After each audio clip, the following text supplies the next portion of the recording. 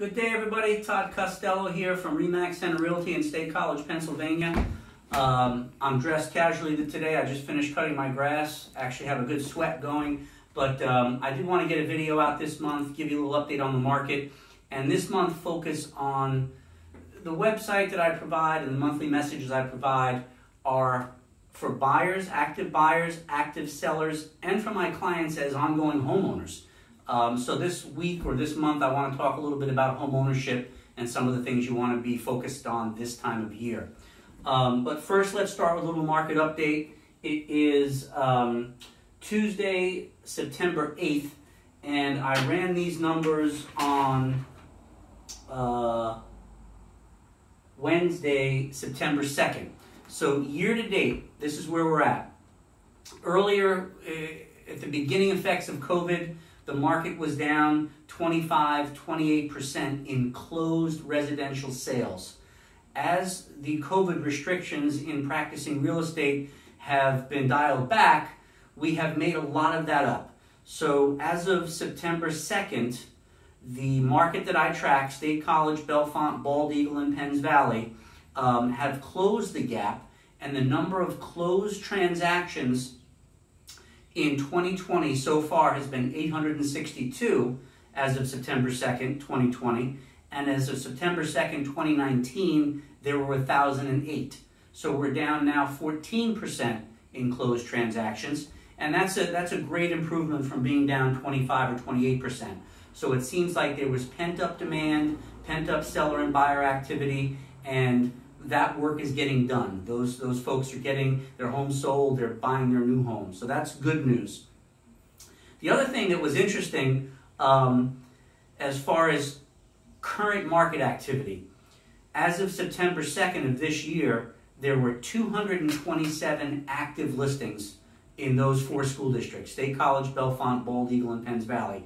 227 active residential listings for sale. This time last year, there were 328 active listings. So that's a dramatic reduction in the number of homes for sale. And yet, the number of properties under contract, sale pending, as of last Wednesday, September 2nd, this year was 230.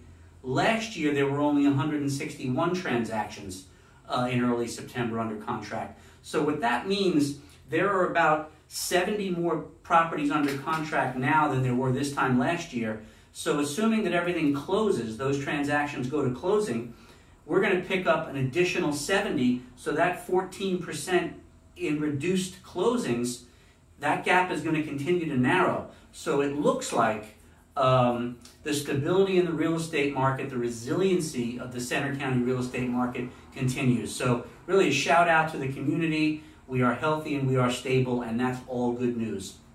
Um, getting into the home ownership of the month. Um, it's funny, I was just out cutting my grass. I'm doing this while I'm sweating, but I just wanted to remind myself that I need to provide some content for, for just home ownership. Forget active buyers and sellers. Our home is our headquarters. It's the control center of, of our families. Everything starts from there. So, a couple of things for this time of year that I think are important. And when you're done watching the video, you can go back to the monthly email and you can click on a few of those links for a little more detail on these topics. But this time of year, um, I'm asking you, I'm begging you, I'm pleading with you. Um, you've got to check your smoke detectors, you've got to check your carbon monoxide detectors, you've got to get your heating system serviced. We want to be safe as we enter into the winter season, and if you wait till it gets cold, the service providers that provide those services are going to get busy. So I would do it now. A couple of things I learned this year or were, was reminded of is smoke detectors and carbon monoxide detectors have expiration dates. Sometimes it's five years, sometimes it's 10 years. So just changing your batteries doesn't do it. Take your smoke detectors down, read what the expiration date is. If they need to be replaced, throw them out, get new ones. If they're still good, replace the batteries. Again, get your furnace, your oil furnace, your gas furnace. Um, if you have a heat pump, get that stuff serviced. That's very important. A um, couple other things I wrote down.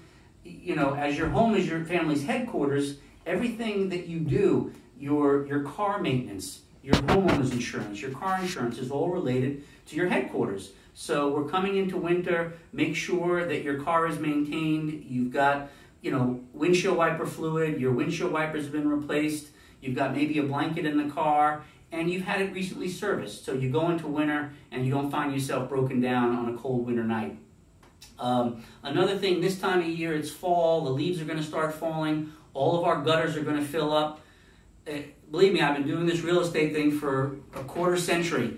Um, clogged gutters are one of the most um, detrimental uh, effects that, that people can have in their home because if your gutters are clogged, you've got water pouring onto your foundation, you're increasing the chances of moisture and water penetration in your lower level. So focus on your gutters this year. Make sure once the leaves fall that you get them clean, you keep the water away from your home. Um, and then finally, uh, look, we went through summer with COVID. If, if you're like my family and I, some days we feel normal and other days we feel we feel restricted, we feel enclosed, we feel trapped. And now we're going into winter and maybe spending as much time outside is going to be a little more challenging. And I just want to stress try to have a bit of a plan. Think about it and say, okay, I, what frustrations have I experienced through the summer with COVID?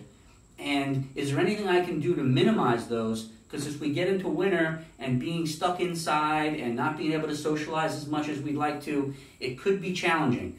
And um, maybe a good gift this holiday season will be a pair of long johns for your family members so everyone knows, regardless of how cold it is outside, if you're bundled up, you can get out there, and that's going to clear your head and clear your mind.